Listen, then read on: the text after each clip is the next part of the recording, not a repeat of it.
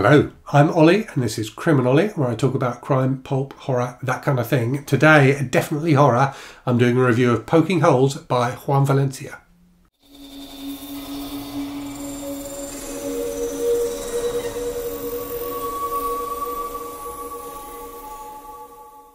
So you may well know Juan as the host of the fantastic YouTube channel Plagued by Visions.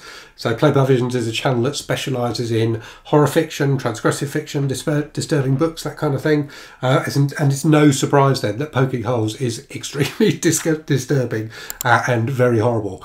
Um, so it's definitely a book uh, that comes with a warning. Um, I know a number of people who've read this book who were quite taken aback by how horrible it is at times.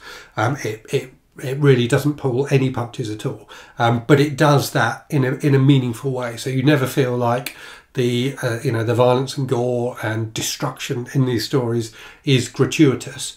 Um, it's all done for a reason, um, and and it works very well as a collection as a result of that.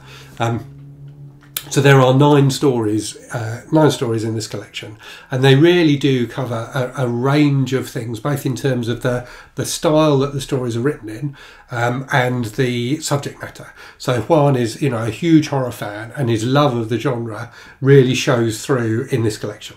Um, so there's, you know, there's body horror in here. There's the kind of like psychological, technological kind of horror that you get in shows like Black Mirror. Um, there's a story that feels quite Lovecraftian. Um, there's a story that feels a bit like a Shirley Jackson story. Um, so there's a real range of stuff in here. No two stories feel feel similar, to be honest with you.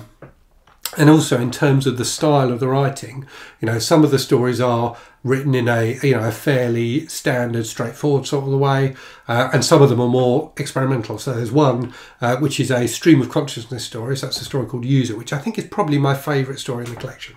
So User is is a stream of consciousness story about a guy who is extremely messed up um, who is also the carer for his mother, who is bedridden. Um, and some very messed up stuff happens in that story.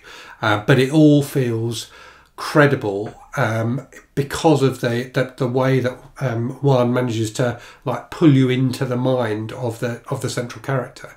So this is a story that I think if it was done, if it had been told in the third person, would feel like um, that kind of cheap, nasty, extreme horror um, that you see, you know, kind of on, on Kindle Unlimited a lot. Um, whereas by making it a first person stream of consciousness story, it really feels like it has a lot more power um, and doesn't feel in any way gratuitous. So, definitely an extreme story that comes with a lot of trigger warnings, um, but one that is told with um, a kind of sensitivity, and, and that is something that's common to all the stories um, in this collection. you feel with a lot of the characters that um, you know, you really come to care about them in the story. And there may be very strange and weird things happening to them, um, but often they are characters that you end up connecting with in some way. And that makes the, you know, the horror all the more effective. And the other thing that makes this collection, I think, really great is there's there's a central theme, at least it seems to me, that ties everything together, um, and that is the abuse of power. So most of the stories in this collection um, are, you know, kind of revolve around, um, you know, that kind of power dynamic where the aggressor in the story is someone in a position of power, um, and that could be, you know, a police officer or a parent. Um, or just someone who's in a respected position in society. So there's one, you know, really chilling story about a, uh, a kind of middle class retired couple who seem uh, incredibly normal and um, you know kind of respectable, um, but are actually involved in some some really horrific stuff. Um, and yeah, that that central theme um, really ties all of the stories together and gives this collection um, a lot more power than I think the stories would have had individually. So you really feel like um, like one feels that kind of sympathy for um, for the people, you know, the people in society who are, for whatever reason, less advantaged. So, favourite stories for me were, I think, User, um, which is the one I've talked about, the, the, kind of stream of consciousness, just really because I haven't read anything like it recently. Um, it's incredibly powerful and incredibly well done, despite being enormously troubling. I think it's the most difficult story in the, in the collection, um, but it works brilliantly.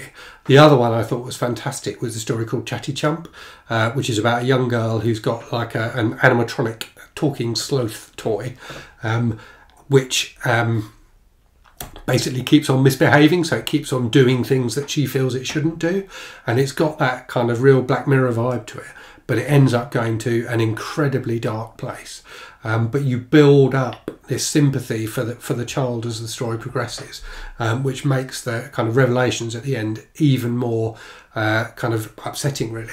Um, so yeah, another really strong story, and it's worth saying that short stories are not easy to write. So I think sometimes people think they're easy because they're short, um, but there's actually a real skill to doing it and doing it well.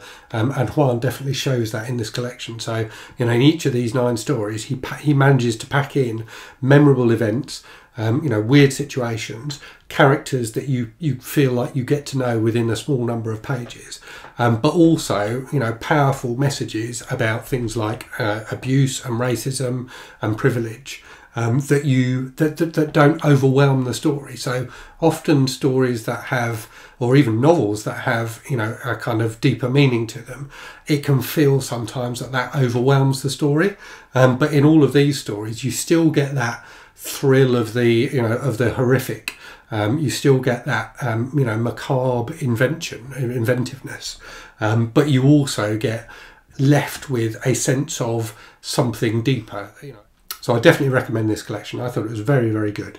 Um, but I recommend it um, with that caution um, that some of these stories, in fact, most of these stories, are very horrible indeed. Okay, time for a random book from the shelves. Today's book is A Hell of a Woman by Jim Thompson.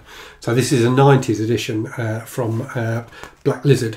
I do think these are absolutely fantastic, these editions. I think they've got the style of them um, absolutely perfect, and it's a fantastic book as well, albeit one I've not read for a while, so I do need to reread this. So I hope you enjoyed that. Let me know if you've read Juan's book and what you thought of it. Um, and as always, thank you very much for watching. Hope you're safe and well out there. Hope you're reading good stuff, and I'll speak to you again very soon.